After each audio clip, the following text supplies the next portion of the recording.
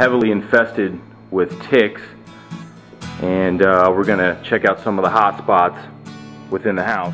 Uh, I've since treated the house already, spraying all the key areas around the baseboards, seams of walls, ceilings, furniture, things like that.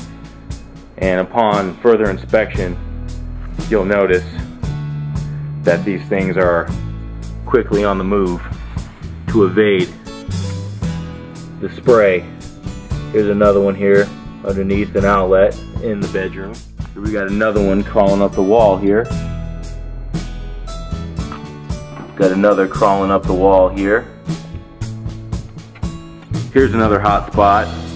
You can see loads of dead ticks all up along this um, power strip sheathing. Ah, got one crawling out from underneath. Recently sprayed, trying to evade the, uh, the treatment. Not gonna work today, unfortunately for him. Massive amounts of tick eggs and ticks engorged males. Uh, spare bedroom, rarely used, except by the dog. A pregnant female